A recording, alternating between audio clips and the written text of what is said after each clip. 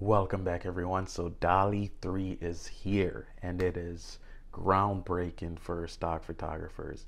Well, groundbreaking may not be the word, but it is a big deal for stock photographers.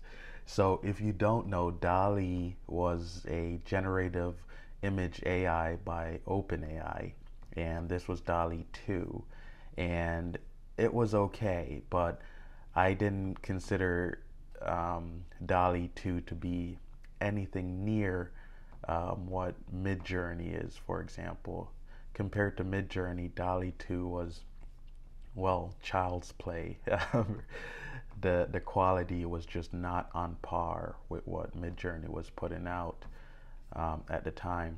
However, we have DALL-E 3 now, and I can say confidently that DALL-E 3 is on par with the image quality that Midjourney puts out, and that is a big deal. Um, so, what really separates DALL-E 3 from Midjourney? Well, DALL-E 3 is able to incorporate text into its generation, and that's something that Midjourney cannot do.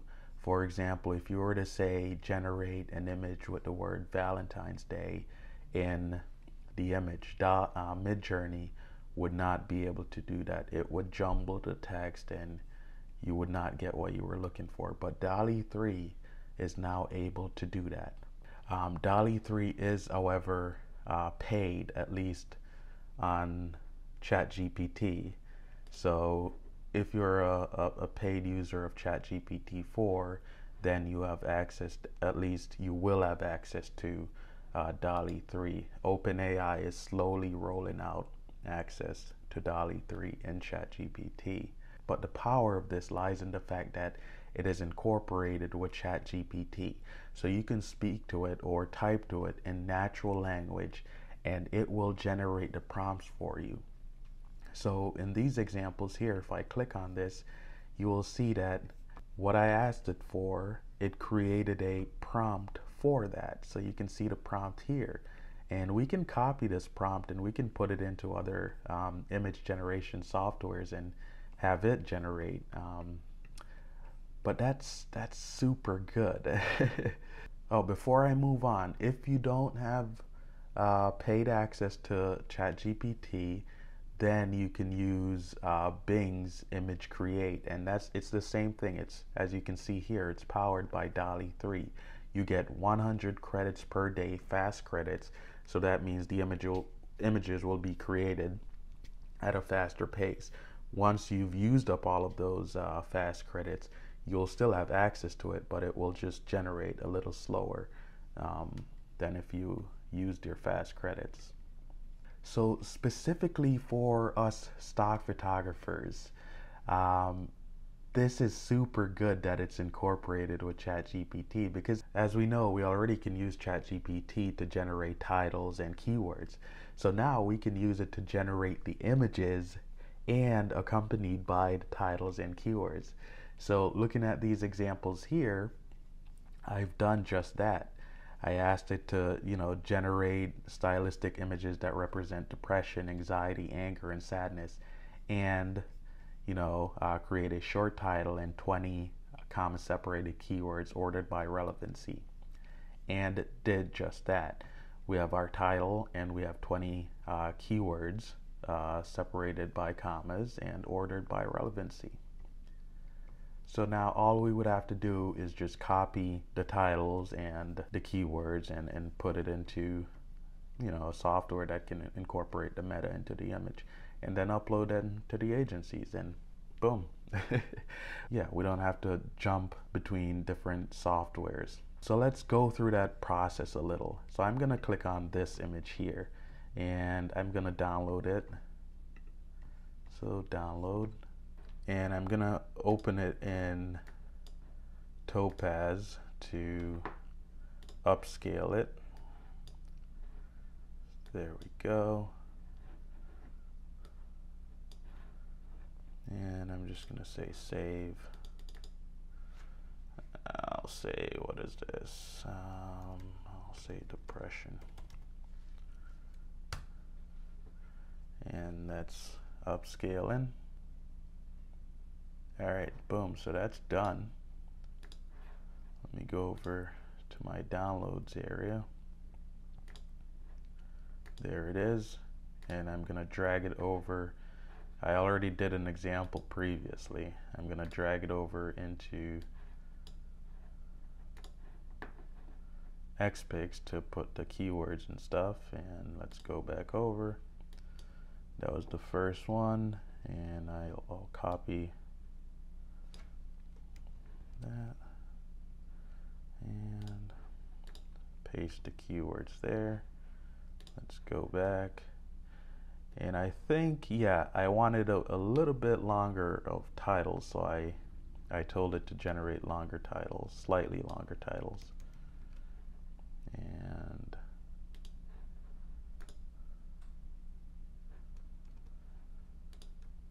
I'm just going to put a dot at the end just to make them different. And I think I forgot to copy the word, um, the letter I.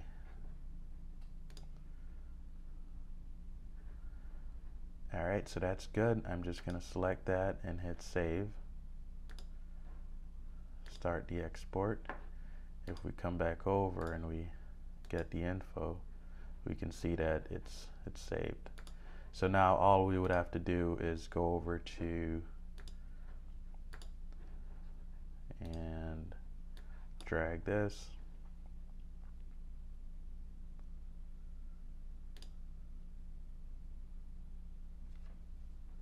All right, so that's available. We're gonna come over here. We're gonna say this is a photo because it, it looks like it, it could have been taken with a real camera. So we're gonna call it a photo.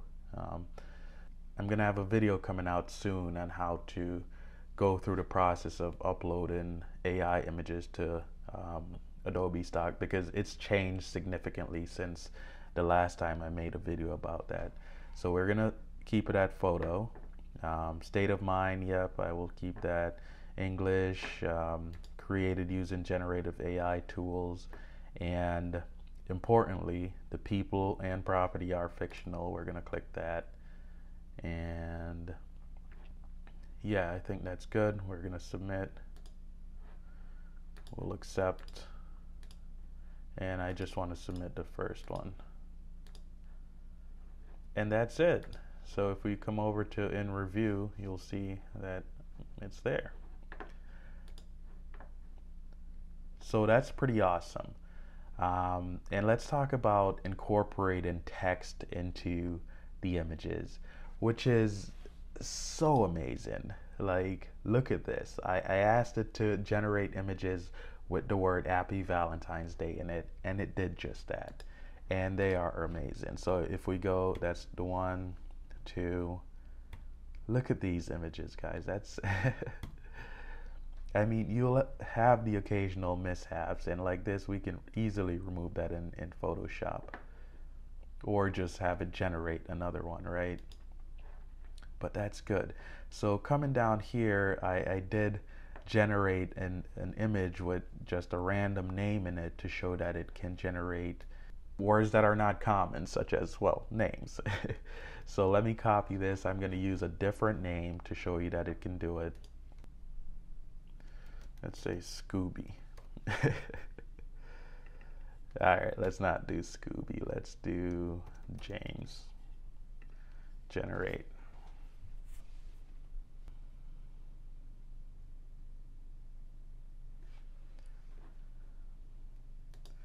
And there you have it. I mean, it's not the best because we have some gibberish, but easily removable.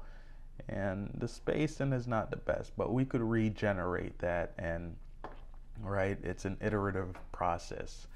Um, yeah but that's that's pretty awesome. You cannot get that in midjourney. In fact let's let's copy the prompt and try it out in midjourney. So you can see here I did try out one of them and you know I, I got nothing in terms of text imagine it, one thing I hated about the interface was having to type that imagine crap all the time So yeah, I don't even have to wait for it to finish. It's not gonna put James on there. Yeah, so no James anywhere. and just just for kicks and giggles, let's put it into DALL-E 2 and see what we get there. So DALL-E 2 did I mean, these are ridiculous. I would never use it, but in terms of incorporating the text, it did a far better job, at least on this one, than Midjourney. And just to show you that Bing Create is um, powered by DALL-E 3, I'm going to copy that prompt and paste it into Bing Create and let's see what we get. Hopefully it doesn't make a fool out of me today. And look at that. Awesome. We These are amazing, guys. I mean, look at that. Look at that one. That's pretty darn good. There we go. So yeah, this was just a quick introduction to DALL-E 3. I'm going to have a lot more videos coming out about DALL-E 3 and its use case in ChatGPT. So, you know, if you're into that stuff, if you're into making money with your AI images, then, you know, subscribe to the channel, ring that notification bell, and yeah, until next time, have a good one, guys.